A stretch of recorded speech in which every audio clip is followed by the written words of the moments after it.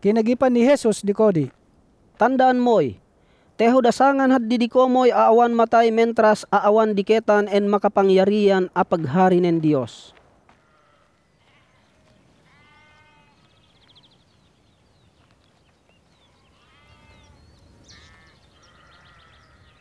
Kalipas ng andamal dew, ayong kuyog ni Jesus de Pedro, Santiago sa kay Juan, tem malang kawabukid aawan ti tolay.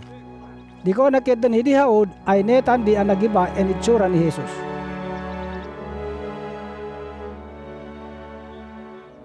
Tinumudeo ang bado na ti makasili, awan ti makapangpudeo ti mundo iday.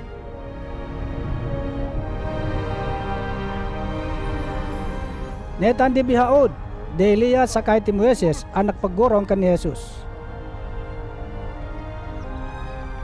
Kinagini Pedro kan ni Jesus. Maisto, maganda taked kami haddi. Maggamit kami ti talo a sarong. Essa di komo, essa kan ni Moises, sakay essa bi kan ni Elias. Nakagiyon ni Pedro gapu awa na tukoy en kagikagiyon na gapu tunayan ang tendi. Linyan duman hindi niya mabagal na diklam. Sa kay teo do nagupos agubuat yan diklam. Aki na gina. Yet en mahal ko a anak, sunudan mo siya. Di ko na umilang hindi tem palebot di ay awanda ni di tineta na iba nan ti Jesus dala. Di ko na managsonda ni di tem bukid ay binili ni di ni Jesus ti mahigpit at diyan di kagi masi kandeya enetan di mentra sa awan mabiyag aruay en anak nen tolay. Sinunod di ang kinagina pero na magtanong nga ni di ninya kahuluganid nen kinagina akak kabiyag aruay.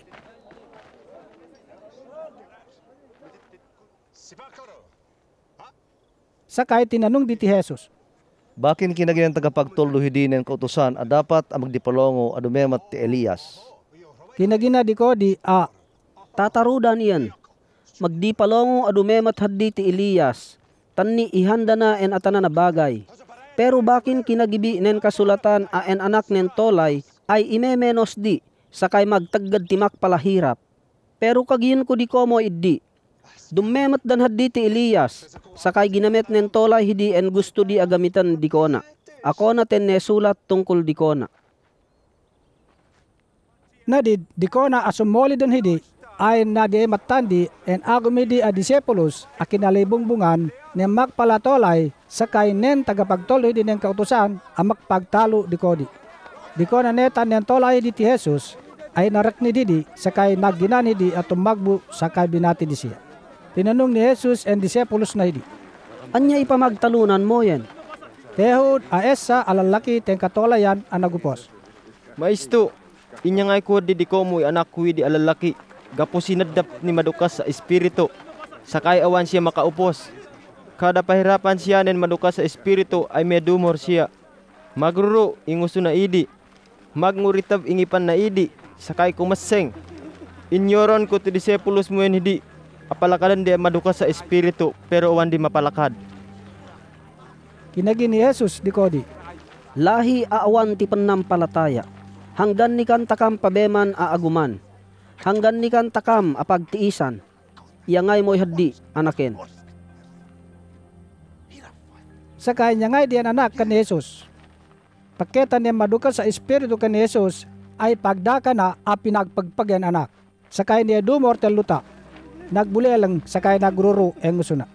Tinanong ni Jesus en ama nen anak. Nengkan pa siya anag kakonahaan. Kinagi nen ama. Sa pulpa iyan, di ko nabadit pala siya.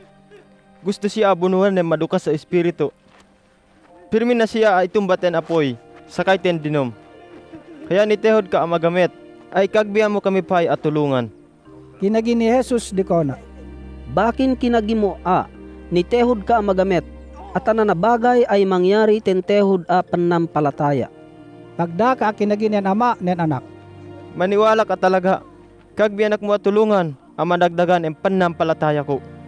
Di ko na aketa ni Jesus ang magkakpal en katolayan ay kinagiyana en madukas ay espiritu. Siko ay espiritu ang magpabangag, sakay magpabulol. Utusan ta ka alumakad ka dan ti anaken, sakay dyan ka dan sumoli di kona. Minagpapakrawan en madukas sa espiritu. Pinagpagpagnayan anak, sakay katapos ay tulos din siya alumakad. Kumanda na patayan anak, kaya balanges siya ay nagkagi, apatayan siya.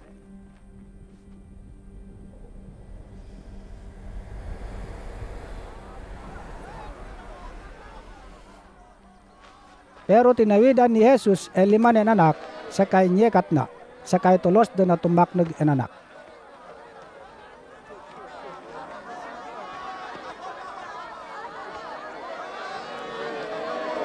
Iko na asumadap ti Jesus tembilay, ay palihim siya at tinanong ng disciples na ito. Bakin awan mi mapalakad iyud ang madukas sa espiritu. Tumbabig ti Jesus, Mapalakad la iyud akalasi ni espiritu ten pamamagitan ni pagdasal.